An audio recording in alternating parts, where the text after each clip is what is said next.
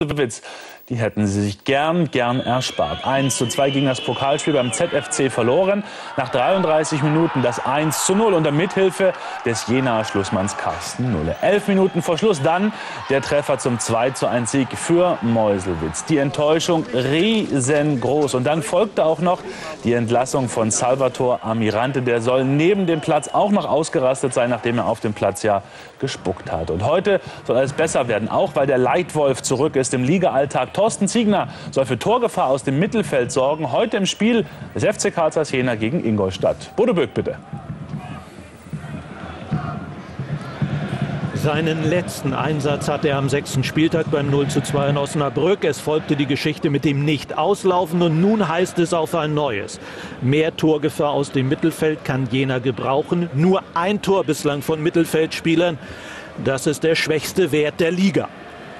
Problemzone Abwehr heute. Lanzart gesperrt, Schmidt, Sievers, Petersen, Riemer verletzt. Notch rückt nach hinten. Dann die Raute im Mittelfeld mit Ziegner. Orlando kommt über links. Druckenbrot, Hollwein auf der rechten Seite und im Sturm Henge. Und das sicherlich die Überraschung. Der junge Amrein erhält eine Chance von Anfang an. Es ist sein erstes Spiel im Dress des FC Karl Zeiss in dieser Saison. In der letzten Saison bestritt er neun Partien für die Thüringer. Ingolstadt von links nach rechts in den ersten 45 Minuten. Mit Leitl und gleich die ersten Möglichkeiten. Buchner. Hier ist Hartmann zur Stelle. Der bislang beste Torschütze der zweiten Liga. Einzige Spitze im Team von Horst Köppel. Hier kommt er nicht mehr an den Ball. Hier haben wir den 61-Jährigen und da registriert er natürlich ganz genau. Das war schon die erste vielversprechende Aktion nach einer Minute und 30 Sekunden. Ingolstadt gibt den Ton an. Eindeutig in dieser Anfangsphase. Und sie kommen ja mit breiter Brust, haben viermal hintereinander nicht verloren. Und hier ist Nulle gefragt. Nulle gegen Buchner muss eine Menge riskieren, der Kapitän und Schlussmann des FC Karl Zeiss. Jena gelingt nicht viel in dieser Anfangsphase. Orlando, wieder ein Fehlpass. Einer von vielen.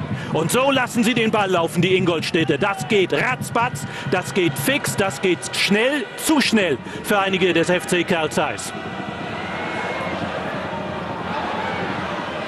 Diskussion kurzer Art und Natur über einen Strafstoß war keiner. Spiel läuft weiter. Aber dieser Angriff hat gezeigt, wieder über den agilen Buchner, wie gefährlich diese Mannschaft aus Bayern ist. Der Mannschaftskapitän beim Eckball Leitl. Und dann kommt ein Abwehrspieler herangebraust. Das ist Wenzel, einer der Innenverteidiger.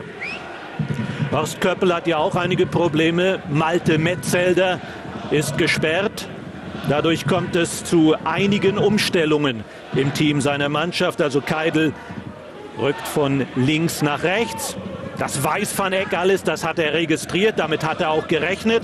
Aber sicherlich eine Überraschung, dass Ruprecht, ein Mann über 1,90 Meter bei den Gästen als Linksverteidiger aufgeboten wurde. Und Flessers, der Allrounder, spielt vor der Deckung. Wieder ein Angriff, wieder eine Möglichkeit und wieder ist Nulle gefragt. Leitl, Buchner und Karl mit dieser Möglichkeit. Die Angriffe der Ingolstädter werden zu einer beklemmenden Ewigkeit für die Thüringer. Sie strahlen da eine bedrohliche Präsenz aus vor dem Nulle-Gehäuse. Hier haben wir Markus Karl Mann aus dem defensiven Mittelfeld. Sie spielen ja mit zwei Sechsern, also Karl und wie gesagt Flessers. Vom FC Karl Zeiss im Offensivspiel bis jetzt nichts, aber auch gar nichts zu sehen. Und das überrascht schon. Das hatte man anders erwartet. 25 Minuten absolviert, vielleicht jetzt am Rhein mit der ersten kleineren Möglichkeit. Am Rhein gegen Pissot und gegen Wenzel. Der 19-Jährige merkt sofort, wie schwierig es ist, hier in diese Partie hineinzukommen gegen den Tabellenfünften. muss sich natürlich auch erst einmal finden im Sturmspiel zusammen mit Henge. Bislang aber auch zu wenig Unterstützung im Thüringer Spiel aus dem Mittelfeld heraus. Die Deckung steht gut.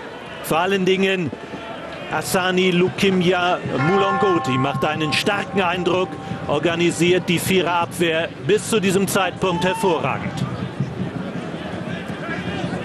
Notch.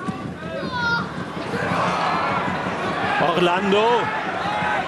Ja, selbst das klappt nicht beim FC Karl Zeiss. Selbst der schnelle Orlando mit dieser technischen Unkorrektheit. Ball war klar im Aus, hier noch einmal in der verlangsamten Bildfolge zu sehen. Michael Lutz, den wir da kurz im Bild hatten, brauchte kaum einzugreifen. Insgesamt 5100 Zuschauer bei widrigen Umständen. Es regnet, es schüttet. Und das macht die Aufgabe für alle Beteiligten nicht leichter. Und wieder eine Möglichkeit für die Ingolstädter. Diesmal ist es Moritz Hartmann, der da zu spät kommt. Wieder schnell vorgetragen, dieser Angriff über den Flügel. Und dann schafft es Hartmann nicht ganz da an den Ball zu kommen. Stresser und Nulle besorgen den Rest. Insgesamt ein wirklich virtuoses Spiel der Gäste aus Bayern. Manko, sie schießen keine Tore. Und manchmal ist ihr Spiel auch viel zu schön. Da sind sie dann nicht konsequent genug im Abschluss. Zum Glück für den FC Karl Zeiss, denn das Beste bis zu diesem Zeitpunkt ist, dass hinten die Null steht. Aber noch sind ein paar Minuten zu spielen. Wieder diese Kombinationen, die den Thüringern viele, viele Sorgen bereiten. Wutke. Eckball, immer eine Gefahrenquelle. Wieder Stefan Leitl, der Mittelfeldmann und Kapitän der immer wieder sich in die Angriffsbemühungen mit einschaltet. So wie in diesem Fall auch Ralf Keidel, der Rechtsverteidiger am heutigen Tag.